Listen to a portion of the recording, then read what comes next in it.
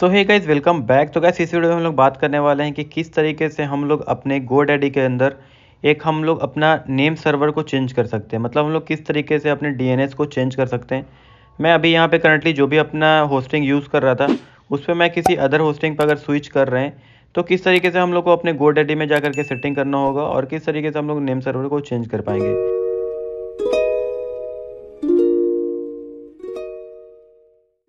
तो गाइस सबसे पहले मैं क्या करता हूँ कि आ जाता हूँ अपने क्रोम ब्राउज़र पे और यहाँ पे मैं तो लॉगिन कर लूँगा अपना गोडेडी अकाउंट को।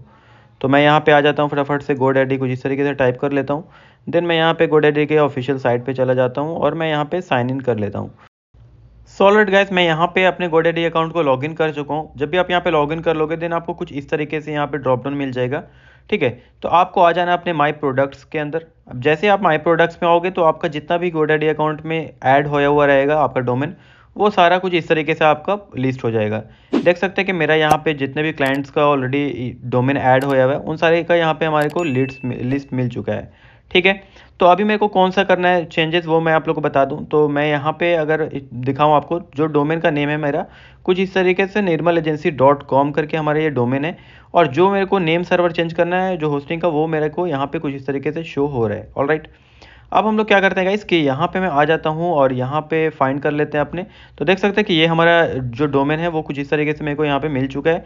देन आपको यहाँ पे सबसे फास्ट ऑप्शन मिल जाएगा डीएनएस पे। अदरवाइज़ आप मैनेज पे भी क्लिक कर सकते हो। आपको डीएनएस ऑप्शन मिलता है तो आप सिंपली इस पर क्लिक कर दे सकते हो। सो so, जैसे मैंने यहाँ पे क्लिक करा है गाइस तो आपको मेक श्योर sure हो जाए कि आपका ये ये जो पेज रीडायरेक्ट हो वो आपको डीएनएस मैनेजमेंट के अंदर लेकर के जाए। तो देख सकते हैं कि मैंने यहाँ पे डीएनएस मैनेजमेंट पे आ चुके हैं और ये हमारा जो डोमेन है वो हमारा निर्मल एजेंसी डॉट कॉम है। ऑल राइट देन अभी आपको क्या करना होगा कि यहाँ पे देख सकते हैं कि आपको डीएनएस रिकॉर्ड कुछ इस तरीके से आ रहा है फॉरवर्डिंग आ रहा है। ठीक है? फिर आपको यहाँ पे होस्ट नेम्स जो है वो कुछ इस तरीके से आ रहा है डीएस रिकॉर्ड आ रहा है। तो यहाँ पे सारा चीज़ आपको मिल चुका है। अब मेरे को क्या करना है कि यहाँ पे मेरे को डीएनएस चेंज करना है नेम सर्वर चेंज करना है अपने होस्टिंग का न्यू होस्टिंग का। तो मैं सिंपली इस पर क्लिक कर दूँगा। जैसे मैं इस पर क्लिक करूँगा गाइस तो कुछ इस तरीके से मेरा ऑलरेडी जो ओल्ड हमारा नेम सर्वर है, कुछ इस तरीके से हमारा लिस्ट हो रहा है। दो मैं क्या करूँगा कि यहाँ पे सिंपली चेंज नेम सर्वर पे क्लिक कर दूँगा। तो कुछ इस तरीके से मेरे को यहाँ पे दो नेम सर्वर डालने का ऑप्शन आ जाएगा। और जो भी आप लोग होस्टिंग अगर लिए हुए होगे तो आपको कुछ इस तरीके से यहाँ पे दो आपको होस्टिंग प्रोवाइडर भी आपको नेम सर्वर प्रोवाइड कर देते हैं। तो मैं यहाँ पे सिंपली कुछ इस तरीके से अपना डाल देता हूँ। एक हमारा ये हो गया और सिंपली हमारा एन करके हमारा कुछ इस तरीके से दूसरा नेम सर्वर ये हो गया। ठीक है तो मैं यहाँ पे ये दोनों चीज़ को डाल चुका हूँ। ठीक है और उसके बाद मैं क्या करता हूँ कि सिंपली सेव पे क्लिक कर देता हूँ। जैसे मैं यहाँ पे सेव पे क्लिक करेंगे गाइज़ तो देख सकते हैं कि कुछ इस तरीके से यहाँ पे मेरे को बोल रहा है कि आप इस नेम सर्वर के साथ कंटिन्यू करना चाहते हैं। देन मैं यहाँ पे सिंपली कंटिन्यू वाले बटन पे क्लिक कर देता हूँ।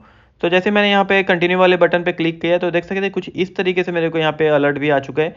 ठीक है? और यहाँ पे बोल रहा है success your request is in process और कोई भी डीएनएस या फिर कोई भी नेम सर्वर हमारा उसको अप्लाई होने में आपको ट्वेल्व से फोर्टी एट आवर्स लग सकते हैं। तो आप लोग थोड़ा वेट भी कर सकते हैं। अदरवाइज़ आप लोग को आपका यहाँ पे आप एक बार जा करके अपने ब्राउज़र में भी चेक कर सकते हैं, अपने डोमेन के हिसाब से। तो यहाँ पे अगर मैं अभी चेक कर रहा हूँ।